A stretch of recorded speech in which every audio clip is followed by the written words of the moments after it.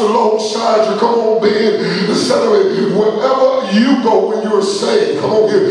The Holy Ghost walks with you. It's not afraid to be beside you. It's not ashamed of you in public. It'll be in public with you.